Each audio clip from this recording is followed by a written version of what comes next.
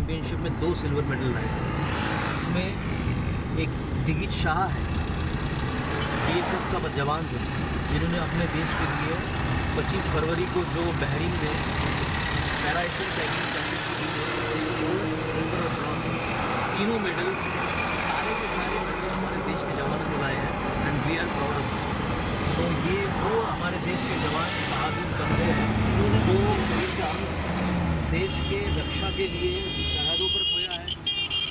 किसी ने बिहार में नक्सल, नक्सलवादियों से लड़ करते करते अपने शरीर का अंग खोया है। शरीर का अंग होने के बाद उन्होंने अपनी हिम्मत नहीं ये फिर से खड़े हुए, फिर से लड़े और सलाम करते हैं प्लेयर्स के जज्बे को।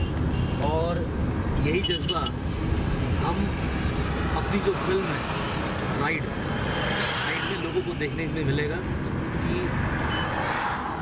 जहाँ पे एबल बॉडीज़ लोग, हम लोग हिम्मत हार देते हैं कि और भगवान से कुछ बोलते हैं कि भगवान आपने हमारे लिए काफ़ी दुख दिए तो मुझे लगता है जब भी आदमी लो में हो या कॉन्फिडेंस खोए तो एक बार इन प्लेयर्स की तरफ़ देखना चाहिए।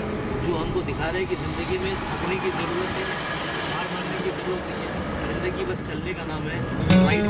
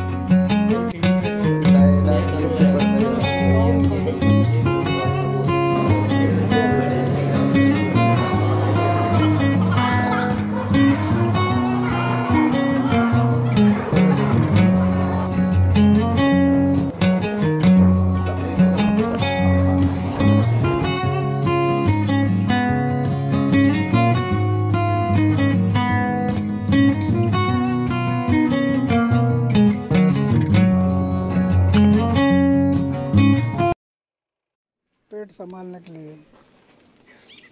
अभी ये पानी को जो रोका, जिस गाँव में 400 एकड़ ज़मीन में एक फ़सल के लिए पानी नहीं मिलता था, एक फ़सल के लिए 400 एकड़ में, आज 1200 एकड़ ज़मीन में दो फ़सल मिल रही है। और जिस गाँव से 300 एक 300 लीटर दूध बाहर नहीं जाता था आज हर दिन 6000 लीटर दूध बाहर जा रहा है। तो गांधी जी जो बोलते थे, देश बदलना है तो गाँव को बदलना पड़ेगा। जब तक गाँव नहीं बदलेगा, तब तक देश नहीं बदलेगा। ये गांधी जी का जो सपना था। लेकिन देश बदलने के लिए गाँव का आदमी बदलना है। जो गाँव को बदलना है, लेकिन गाँव का आदमी बदलना है। तो आपको क्या लगा इस बारे में? और आपकी क्या संकल्प है? आप संकल्प ये नहीं, मैं जब अभी अन्ना हजारे जी पे जो बायोपिक मैंने बनाया, उसके बाद मेरे सामने प्रश्न था कि किस विषय को लेकर मैं फ़िल्म बनाऊँ, क्योंकि अन्ना जी जैसा बड़ा व्यक्तित्व करने के बाद सब्जेक्ट सेलेक्ट करना मेरे लिए बहुत गया तो मुझे ऐसा लगा कि पैरा स्पोर्ट्स में हिंदुस्तान इतना अच्छा कर रहा है। अभी हमारे साथ में ये तीनों प्लेयर्स खड़े इन्होंने देश के लिए गोल्ड सिल्वर ब्रांड थे।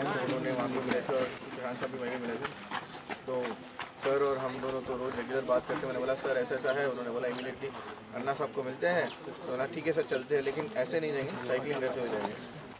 पहली बार सुबह चार बजे शूट किया। Very good experience